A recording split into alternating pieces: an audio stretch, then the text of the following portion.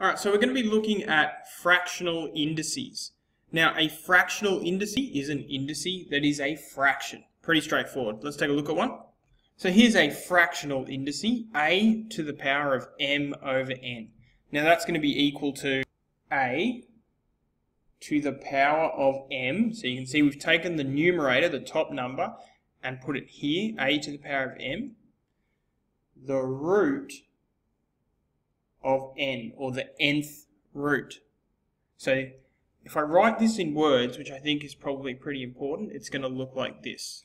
The nth root of a to the power of m. The nth root.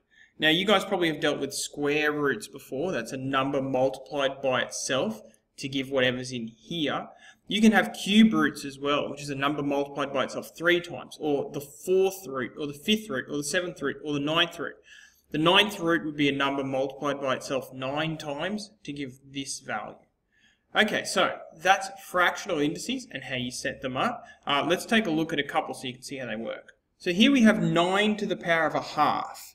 Now that's going to be a, the base, 9, to the power of whatever was on the top, whatever's on the top, 1, 9 to the power of 1, the second root, which is just the square root. So really this just says the square root of 9. When it's a square root, we don't need to put a 2 there, and when it's to the power of 1, we don't have to do that.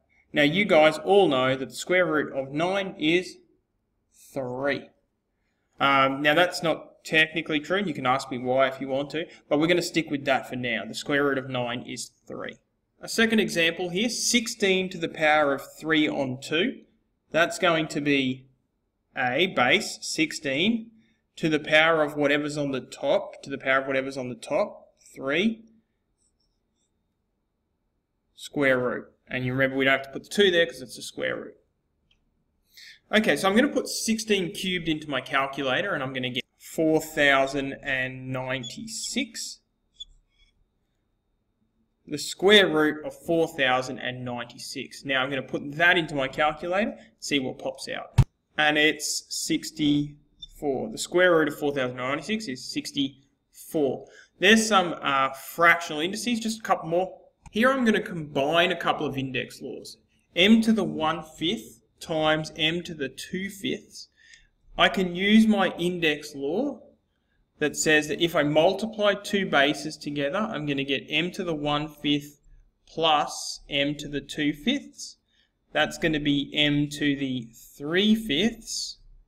And then, using my fractional indice law, I can look at that and say that's going to be m to the 3 to the power of 5. Can't do much more than that because it's algebra, so I'm not going to get a number like I did with these first two.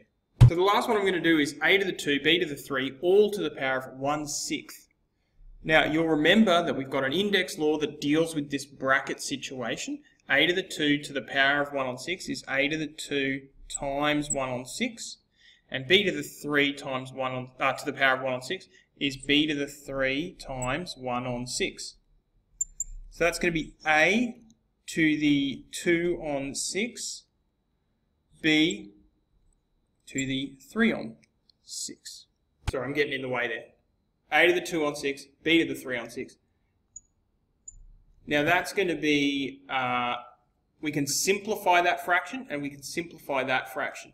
So A to the 2 on 6 is really A to the 1 on 3 and B to the 3 on 6 is actually B to the 1 on 2. You can simplify fractions at the top here.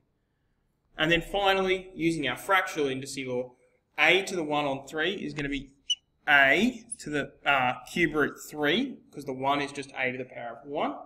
And b to the half is just going to be uh, the square root of b. So it's the cube root of a times the square root of b. Okay, there's fractional indices, four examples of how it all works. Uh, let's get started.